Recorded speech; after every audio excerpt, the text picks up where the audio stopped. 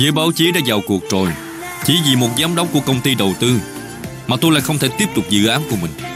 Tôi sẽ xử lý việc này ngay. Tôi tin là anh sẽ Không để tôi phải nghe cái tên can sanh hết thêm một lần nào nữa. Người nắm quyền Na Sơn đã tới đây gặp chú như yêu cầu. Chú cứ nói yêu cầu của chú đi. Tôi sẽ nhận được gì từ việc làm này đây? Con sẽ giúp chú trở thành quỹ viên lập pháp của khu vực. Sau đó thì con sẽ giúp chú bước chân vào quốc hội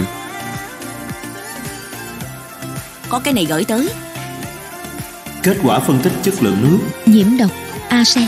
Nếu không phải 6mg trên lít sẽ gây tử vong đó. Người dân ở đây đã uống nước này có đúng vậy không?